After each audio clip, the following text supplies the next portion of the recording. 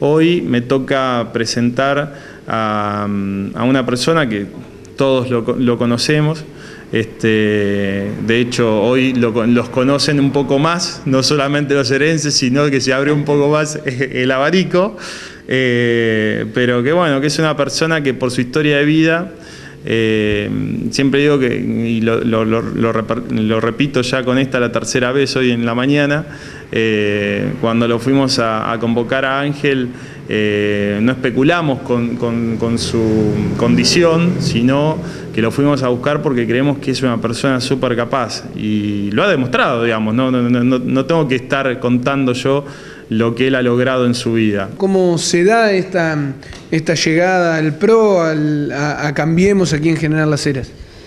Eh, bueno, eh, básicamente Pablo hace poco me ha convocado, si bien yo desde el año pasado militaba, pero no activamente, por, por, mis quehaceres, digamos.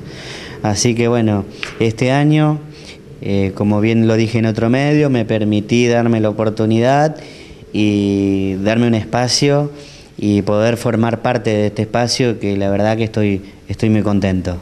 Eh, ¿Políticamente te sentís de alguna manera reflejado en este grupo?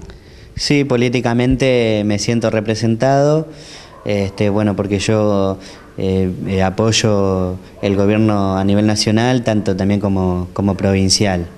Este, y por eso, bueno, en este espacio me siento reflejado. Bueno, ¿y con qué, con qué expectativas, con qué objetivos? Y bueno, nosotros tenemos el objetivo de estar presentes en la comunidad, de ayudar a todo aquel que lo necesite y por eso, bueno, desde la Juventud del PRO nos estamos reuniendo todos los días a partir de las 4 de la tarde en, este local y bueno, eh, sumando a la gente, sobre todo los jóvenes también, que, que vengan, que participen y que este espacio no, tiene, no sabe de ideologías. Acá se recibe a peronistas, radicales, independientes, no importa. Lo que es bueno es que todos aporten para así nosotros eh, eh, realizar nuestra actividad cada día mejor.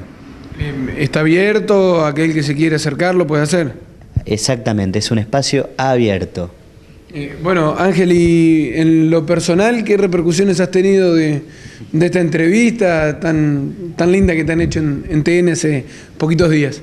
Bueno, la verdad que es una experiencia única e irrepetible, eh, fue inolvidable, porque la verdad que María Areces es una periodista excepcional, me hizo sentir cómodo en todo momento, es el primer minuto que, que llegué a Morón, ¿no es cierto?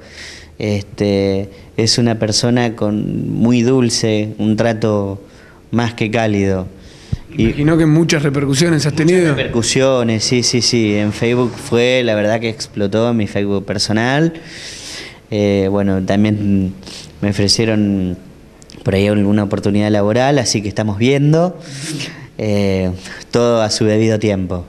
Eh, bueno, y precisamente con eso, ¿cómo venís eh, con, tu vida personal, laboral? Eh, ¿En qué ámbito te estás desarrollando ahora? por ahora, bueno, estoy en el sector público, como bien lo comentaba en los medios, ejerciendo el asesoramiento jurídico en el municipio, en la dirección de discapacidad, y por otro lado también trabajo como abogado, o sea, liberal.